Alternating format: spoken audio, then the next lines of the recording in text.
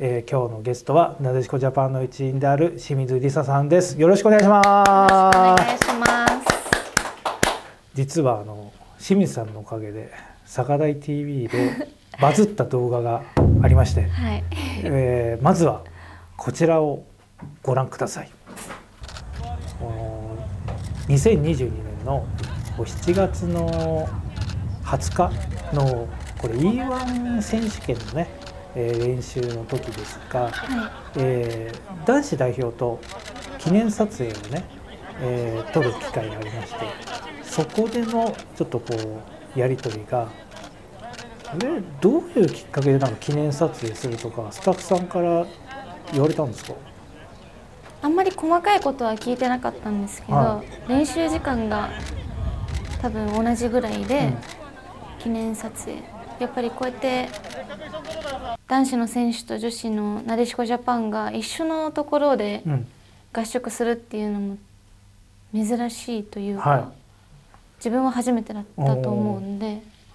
でここで注目したいのがあの清水選手もう本当にすぐ座るんですよね。はい、これはなんかあれだったんですか？もう自分からまず場所決めちゃえみたいな感じだったんですか？そうです。なんかみんなゆっくり歩いてるし、うん、なんかカメラマンは早く撮りたそうにしてたんで、うん、自分だけでも位置決めちゃおうかなと思って座っちゃいました。なるほど、はい、まあさすがにチームのまとめ役という感じの。でそこでねあの男子の代表がこう合流していきます。しかしなかなか清水さんのね隣に座らないんですよね。誰もねまあ座りづらいですよね。他のところも空いてるんで。そう。でそこでこう清水選手が近くにいた中谷選手にねこう声をかけたんですけどこの手招きした時に何て声かけてるんですか？あの面識あって、うん、だから呼んで、うん、ここ座ってって言いました。ここ座ってって言ったんですね、はい、そしたらどんな反応だったんですか？なんか最初えー、みたいな。でそのジョエル君がいたのかはいはいはい、で多分しんのすけ君とジョエル君仲良くて、うん、なんかジョエル君呼んでる時とかあってけどもういいじゃんこっち座ってよっていうやり取りだったと思います、なるほど。中谷選手とはどういうこうあれなんですか？こう知り合いというかあのフィジカルトレーニングをしていて、うん、で自分がお世話になってるフィジカルトレーナーの方がしんのすけ君のことも見てて、はい、で何回か一緒にトレーニングさせてもらったことがあってそのぐらいの程度です。なるほど。はい。でもやっぱ顔も知ってるし、そうですよね。あのでようやくね3度手招きして着席するんですよね。そんな時間かかってました？かかってました。その隣に座った後はなんかどんな会話したとか覚えてますか、うん、えー、覚えてないですけど多分この後の紙幣の話とかはしてたのかなとは思うんですけど、はい、あんまり詳細は覚えてないです。ななんかとりあえず早く座ってって言ってました。そうですよね。さあ要するに清水さん最初に一人で座ってカメラマン待ってるから早く体勢整えようよみたいなあれもあったんですよね。そうですね。まあ急いでるわけではなかったですけど、とりあえずちゃんと形を作った方がいいなと思って、うん、けどまあ自分多分カメラ間違えて逆の方を向いてる時あって なんかそういうところはやっぱりまだまだだなって自分でも思いますね。うん、そもそも撮影ああいうやり取りが撮影されてるとも思ってないですよね。いや思ってないです。うん、写真撮ると思ってるんで、うん、そんな撮影の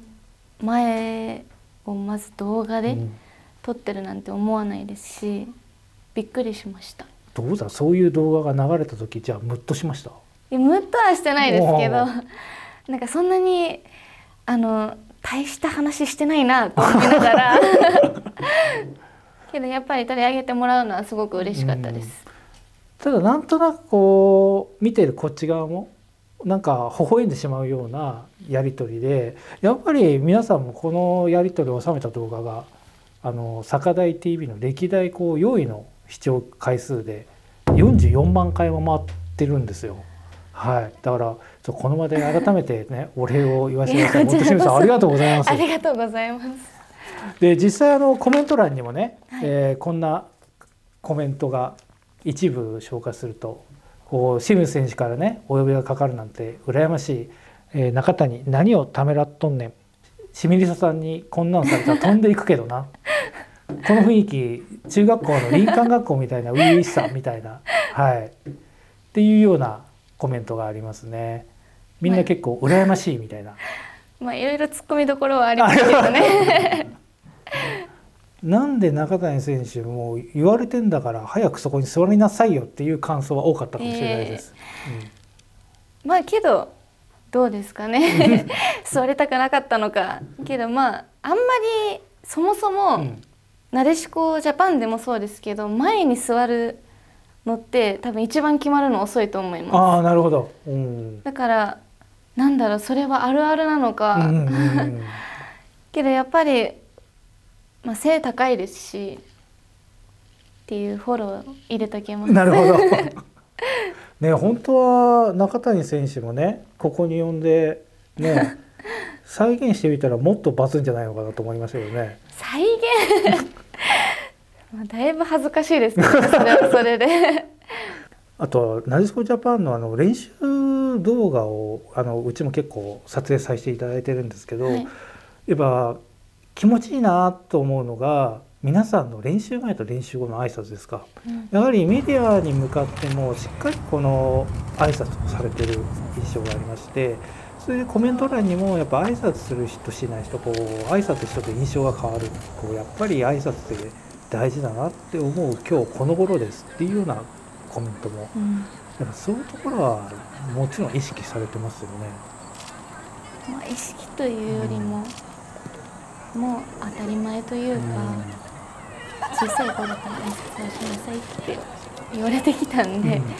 もうこの年でそれを言われるようなことをしないためにも、やっぱり挨拶ってや気持ちいいじゃないですか、はい、だから大事にはしてます、やっぱりそれはご両親の教育というか教えというかもう物心ついた時からもうそこはちゃんとしようという感じだったんですか？そうですね。まあ親からあんまり言われた記憶はないんですけど、はい、やっぱりあのベレーザの下部組織のメニーナの時に、うん、やっぱりそういう部分も鍛えてもらってたんで初めもう誰でも挨拶するっていうのは言われてたんで、うん、それは染みついてるのかなとは思います。いやでも本当清水選手に限らずやっぱなでしこジャパンのメンバー皆さんがやはりこうちゃんと気持ちいい挨拶をしてくれるっていうのはなんかすごい好感が持てますよね。うん